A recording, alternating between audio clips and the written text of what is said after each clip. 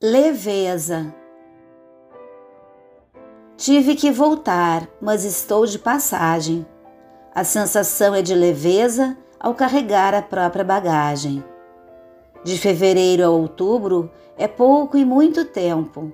Mesmo assim, não lamento. É caminho a percorrer, é subir e é descer, é andar e não parar. Até lá eu descubro o que ainda não descobri detalhes que nunca notei e entrelinhas que não li. De fevereiro a outubro, levo o pedaço que sobrou de mim, como aquele que resta ao final de um quindim. De fevereiro a outubro é a despedida de tudo. Depois de um inverno branco, preto e cinza, surge o colorido da tinta.